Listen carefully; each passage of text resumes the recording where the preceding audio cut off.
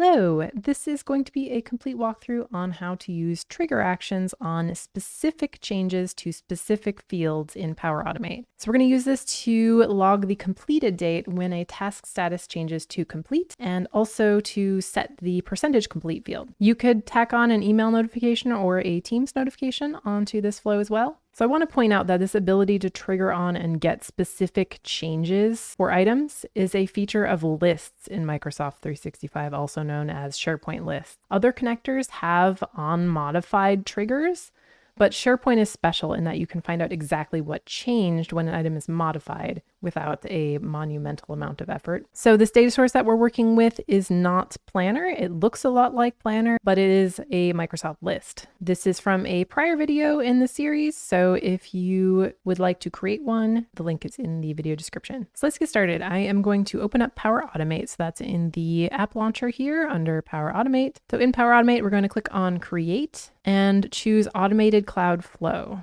So these are the ones that are triggered by something happening. We're going to call this when and then choose the trigger. So we're going to want to use when an item is created or modified and then click create. So we're going to use the new UI today because I need to get with the times. We're going to deal with it. So you'll notice right away that I have an error right off the bat. That's cool. All right, so it wants a site address for our SharePoint site. So just select your site from the list. If you open this up and it has no sites in it, that means that your connection hasn't been set up yet.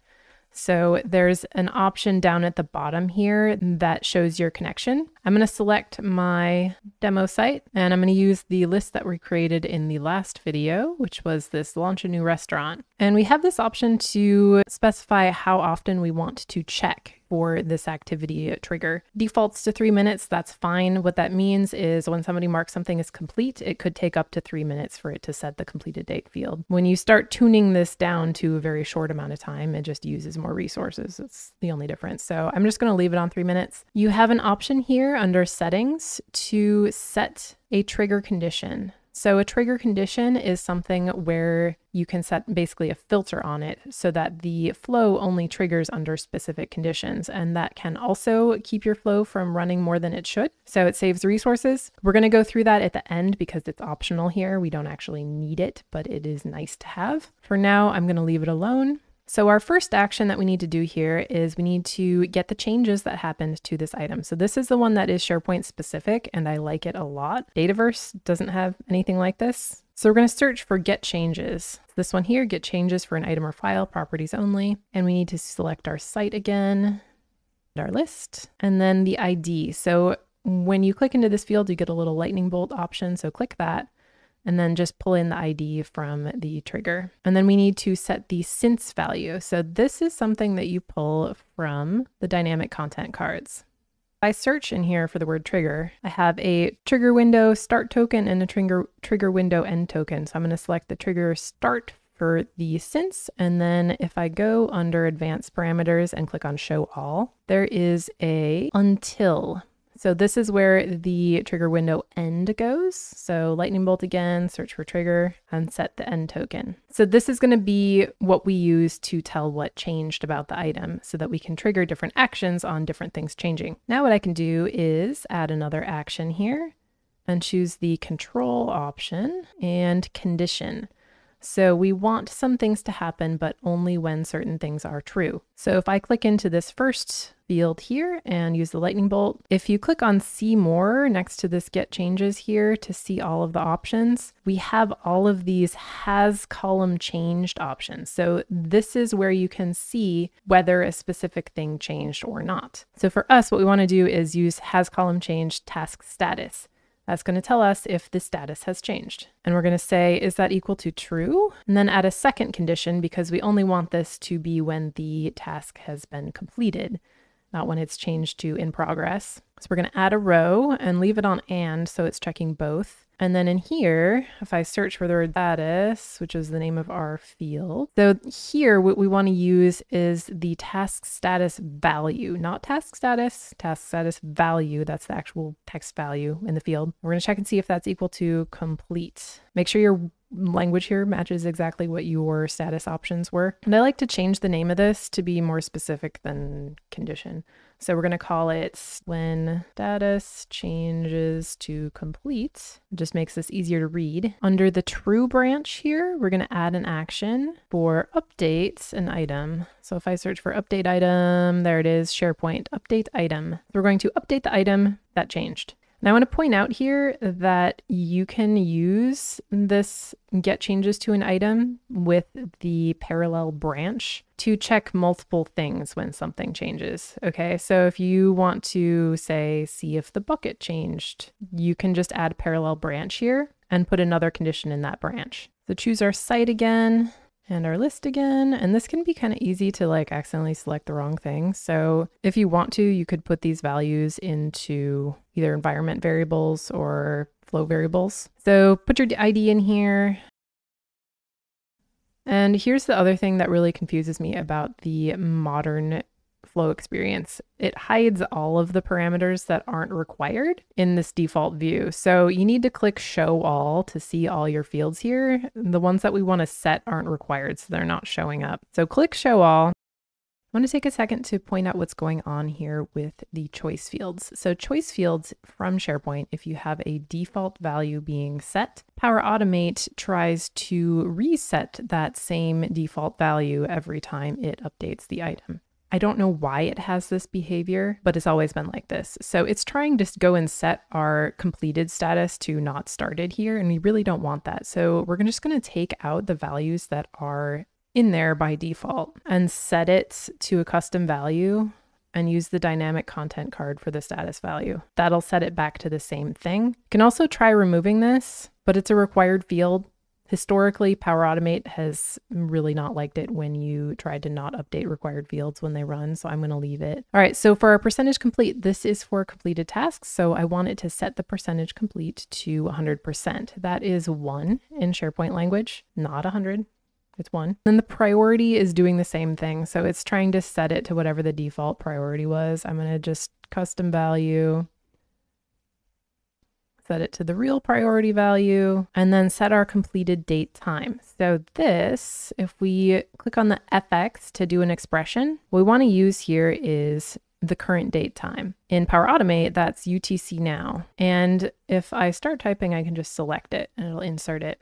So UTC now is universal time. You might be thinking to yourself, but I want it to be in my current time zone. The thing is, is that SharePoint likes UTC. So it's going to take whatever your UTC value is and convert it to whatever the time zone of the current user is who's looking at the task. So you don't need to worry about time zones here. So click add to insert your UTC now, and then just review the rest of your fields to make sure it's not doing anything weird, okay? This looks good. So I'm going to save this so let's test our flow because that's always a good idea, right? We want to make sure that it's working. I'm going to click on the test button up here and choose manually and save and test. So what this is going to do is it's going to wait for whatever action we have for the item modification to run. So if I go back to our list and set one of these things to complete, it might take a minute or two for this to update here because it's only checking once every couple minutes, right? Because that was that setting we set at the beginning when we were setting up our flow. So give it some time. All right, so our flow ran successfully. Let's see what happened. So if I click on this part of the flow, the condition,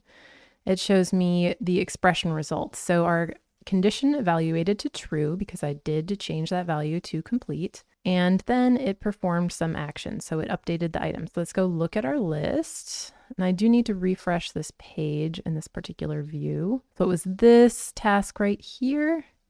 It has set the completed date time. That is my current date and time. So that's right.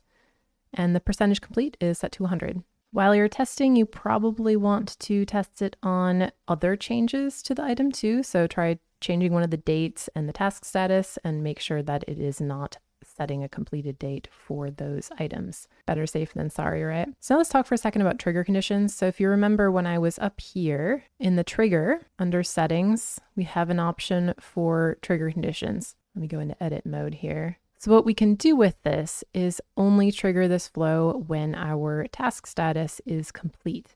So that's not going to look at the changes. It's just going to say this item was modified. The status is complete. Then it will run. So it's not going to be triggering when somebody changes a date field or anything like that. It just makes the trigger happen less often. So it uses less resources to go through and check those things every single time a change is made.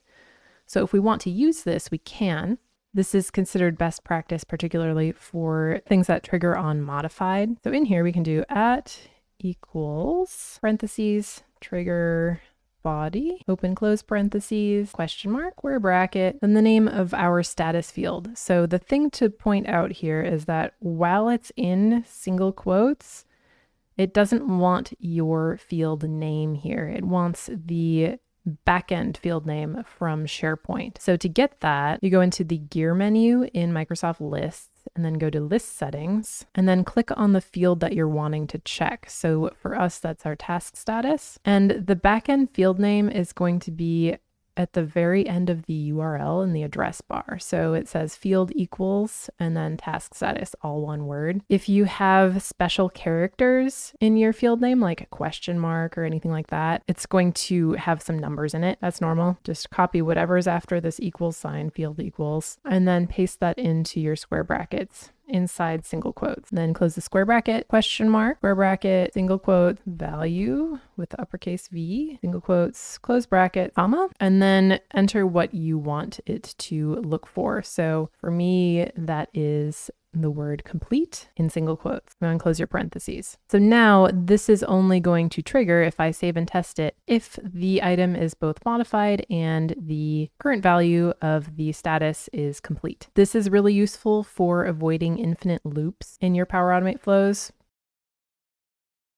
If I wanted to have this send an email notification, that a task has been completed, I could do that. You can add email actions in here can also do Teams actions. So let me just show you. So that'd be post message and chat or channel. Posting as the Flowbot is the easiest way to send messages in Power Automate with Teams. Likewise, you want the chat with Flowbot here if you want the less assembly required option. Alternately, the email so this email is going to send a generic email from a generic Microsoft account. This send an email v2 is going to send an email with whatever connection that the current flow is telling it to use. So by default, it's going to come from your account. You can use this to make your automated emails look more like they're coming from a person if you want to. You can also send with a shared mailbox with this technique. I have a video on that in my channel. Other things you might want to do with Power Automate are to send notifications to remind people to complete tasks. So, X number of days before the due date, send an email, that kind of thing. Those are going to be scheduled flows not triggered on any particular thing. That'll probably be a separate video, but I also have a blog post about how to do the reminder notifications. So I'll put that in the video description since I don't have a video for it yet. All right, so next up is going to be creating the reporting on our task data in Power BI. So we're going to go through two techniques, one using the kind of built-in prefab reporting in the integration with Microsoft Lists and Power BI, and another version where we do it from scratch because we can go further with that. So if you want to know when that comes out, feel free to subscribe. I also started an email newsletter. So if you want to be notified by email, the link is in the video description. That will let you know when new videos come out. And also, we'll have news and updates about what's going on in Power Platform, Planner, SharePoint, that kind of thing, so that you don't have to scrounge the internet looking for news on Power Platform. All right. So thank you for watching, and I hope you have a great day.